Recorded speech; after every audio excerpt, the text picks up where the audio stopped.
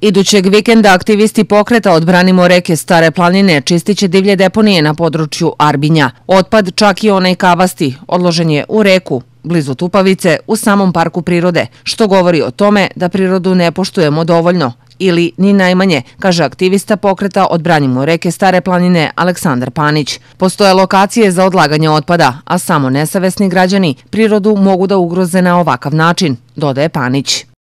Kod nas postoji jedan veoma ružan običaj da se nakon smrti i nakon ta oprema pokojnika i svi predmeti s kojima je on bio u neposrednom dodiru, krevet i posteljine to, uništi, baci, ajde kada je to grad pa se to vozi na deponiju, ali kada je to selo, to se obično radi negde u okolini, e, neko se naša pametan i dve, tri takve deponije napravio prema Arbinju, prema najčišćem delu Stare planine, e, da ne bismo čekali ne znam koga da to očisti i da to ne bi bio ružan primer koji bi dao volju i hrabrost nekom da to nastavi da tamo radi.